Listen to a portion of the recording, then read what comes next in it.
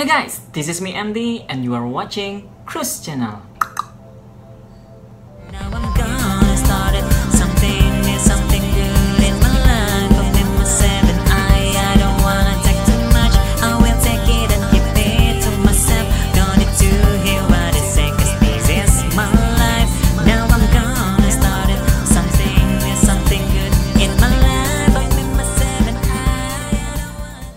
So guys, welcome back to the Cruise Channel dan kali ini kita berada di segmen Micin Mania.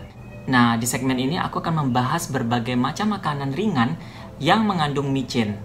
Kali ini ada empat yang akan kita coba dan ini sepertinya merupakan snack asli buatan Indonesia dan sudah sejak lama aku sangat penasaran dengan rasanya. Snack-snack ini bisa ditemukan di eh, supermarket. Snack-snack ini sudah lama sekali aku lihat di supermarket tapi belum pernah mencobanya. Seperti ini ada cassava chips Daigo dengan rasanya original bulgogi. Ya. Oke, terus yang kedua ada cassava chips Daigo juga dengan rasa spicy. Ini dengan level 10 extreme hot handle with care. Hmm. I'm really curious about the flavor. Level 10 apakah benar-benar pedas? Kita coba nanti. Ini ada si umang makaroni dengan rasanya barbecue. Oke. Okay. you can see that. Oke. Okay. di sini ada motonya. Aroma jelas terasa rasakan bedanya. Let's see. Next ada papare chips. Gurih tanpa pahit. Ini adalah uh, sayur pare yang dibuat menjadi keripik. Dan aku sangat penasaran sekali dengan rasanya.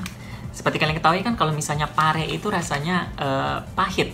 Nah, apakah ini pahit atau rasanya akan berbeda jauh? Who knows? So, kita mulai saja dengan yang pertama yaitu Daigo dengan rasa local taste of Asia original bulgogi. Kita buka dulu. Ini bahan uh, pembungkusnya ini lebih ke arah karton ya sebenarnya, walaupun ada plastiknya. Oke, kita bukanya segini aja.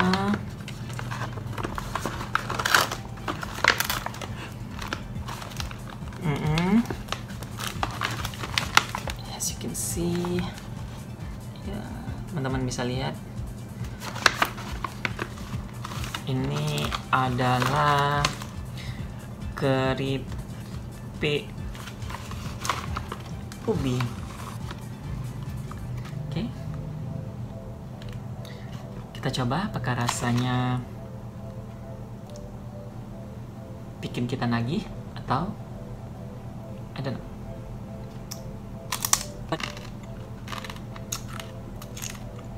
don't know.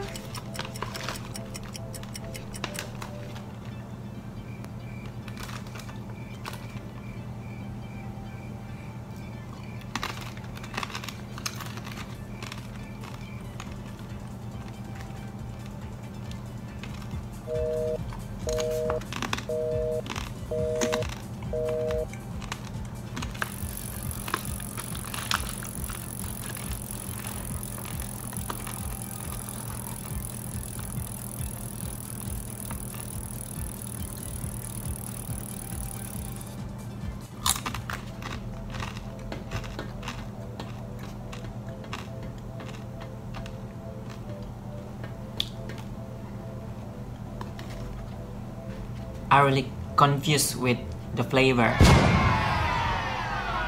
I think this is not me. Not me at all.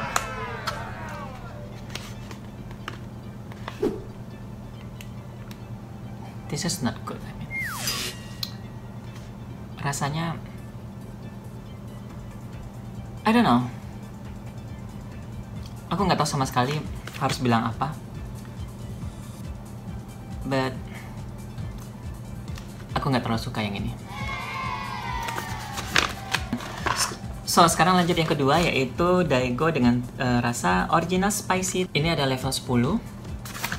Dan apakah rasanya memang sangat pedas sekali atau gimana?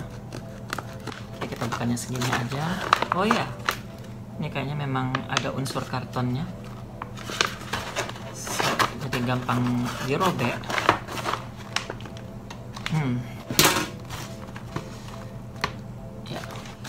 Berharap ini rasanya enak dari yang tadi. Ada butiran-butiran cabenya. So, why don't we try?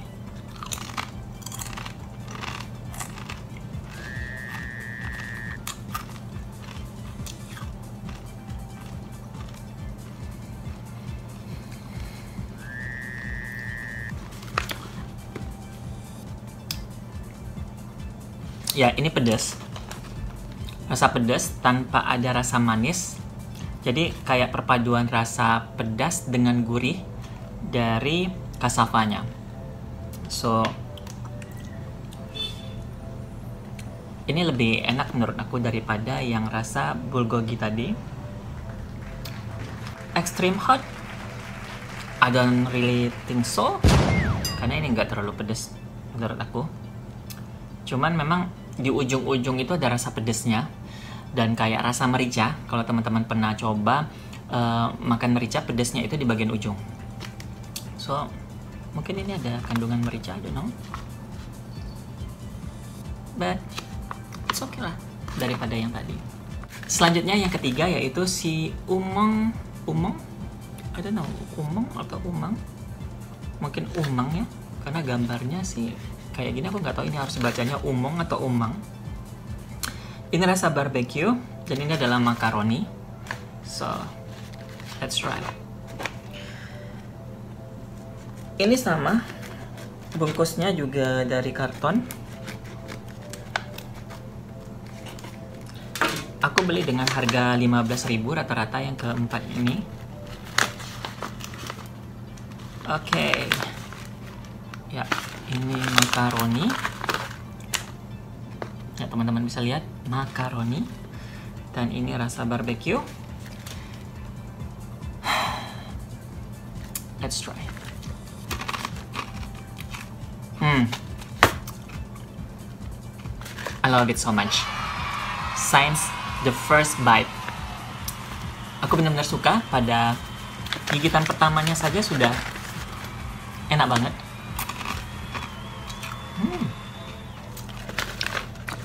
Very recommended. Jadi teman-teman kalau mau cari uh, micin yang berbeda dari biasanya yang dimakan, ini merupakan pilihan terbaik menurutku.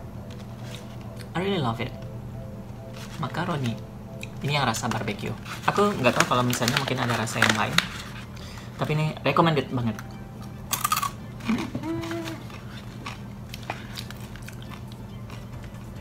Kayaknya kalau makan ini bakal betah banget.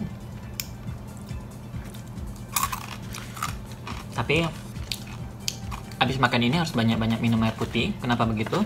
Karena teman-teman bisa lihat sendiri, ini micinnya banyak banget. So, we should drink a lot of water. Jadi kita harus banyak minum air putih. 100% recommended. Keempat, ini adalah keripik micin keempat untuk video kali ini. Dan ini benar-benar bikin aku penasaran karena biasanya pare itu rasanya pahit. Nah, kalau dia bilang di sini gurih tanpa pahit. Gurih gurih sepertinya bukan manis atau asinnya. Gak tau, kayaknya mungkin rasa asin. Jadi teman-teman bisa lihat, terlalu nampak. Wow, sorry. Oke, ini adalah wujudnya. Seperti potongan pare. Sekarang kita coba.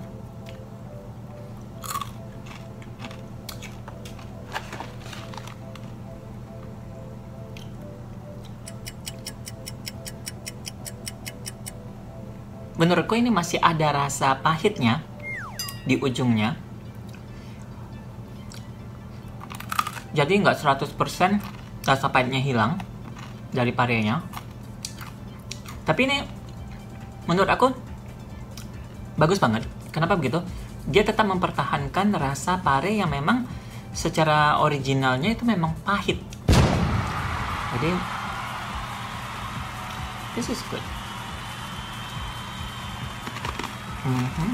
Rasa gurih, rasa gurihnya kayaknya dari tepungnya yang menyelimuti parenya sendiri. Mhm. Ya, bener.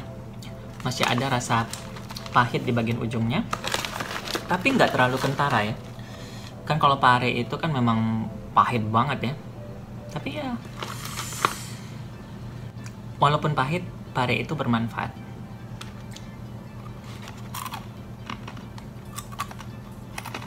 Ini recommended. Jadi kalau kalian makan ini bisa ditemani dengan minuman yang manis. Jadi rasanya bisa balance. So guys, yang menjadi rekomendasi aku adalah si umang makaroni ini. Rasanya enak sejak dari gigitan pertama. Terus yang rekomendasi kedua tentu saja yang papare ini. Ini rasa gurih. Worth it lah. Nah, produk-produk ini merupakan produk eh, buatan lokal atau buatan asli Indonesia dan sebenarnya patut kita support. Memang kalau soal harga itu dia lebih mahal daripada pembahasan kita sebelumnya yaitu Cheetos. Eh, Cheetos kan sebenarnya sudah mendunia ya di mana-mana kita bisa gampang menemukannya. Nah, kalau misalnya ini adalah makanan ringan yang memang khas dan asli dari Indonesia. Harga mahal mungkin karena mereka belum sebesar eh, perusahaan Cheetos. Produksinya masih terbatas sehingga mungkin untuk masalah harga dia akan jauh lebih tinggi. So ya menurut aku sih yuk kita dukung sama-sama produk lokal Indonesia dan nggak terlalu buruk menurutku. Cuman mungkin eh, untuk yang Daigo ini rasanya harus banyak lebih belajar lagi. Karena ya itu tadi. Rasanya masih kurang menurut aku. Tapi nggak tahu ya ini berdasarkan dari pendapat aku. Mungkin ada beberapa teman yang sudah mencoba mencoba Daigo ini dan rasanya mungkin sesuai dengan lidah mereka. Why not? So guys sampai di sini dulu pembahasan kita tentang makanan ringan yang mengandung tentu saja micin di episode kedua micin mania ini so Jangan lupa untuk mensubscribe channelku dan memberikan like serta berkomentar di bawah jika kalian memiliki makanan ringan yang mengandung micin apa yang ingin aku bahas pada episode micin mania selanjutnya. So, see ya!